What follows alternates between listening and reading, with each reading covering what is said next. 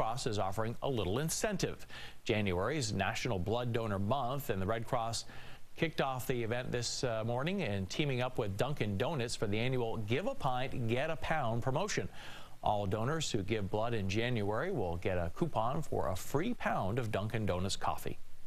Burlingtonians, Vermonters, they show up for things. They, uh, they, they, they give, they get involved. And uh, this center, uh, in general, is a great reflection of that. It's one of the busiest centers, if not the busiest center uh, in all of New England. And uh, this drive is one of the things that really galvanizes uh, the center's support over the course of the year. Over the past six years, 520,000 donors have redeemed coupons for coffee.